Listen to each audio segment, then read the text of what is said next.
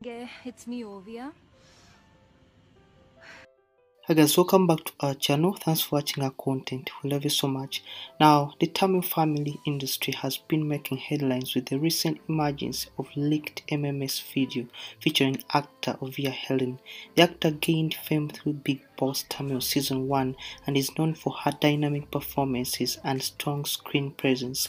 However, the leak of this personal video has sent shockwaves through her fanbase and the industry, prompting her to take decisive legal action to protect her privacy and dignity. Oviya has been in spotlight after the leak of a private video allegedly featuring her went viral online. The video shows a woman in a compromising position with many netizens claiming it is Oviya.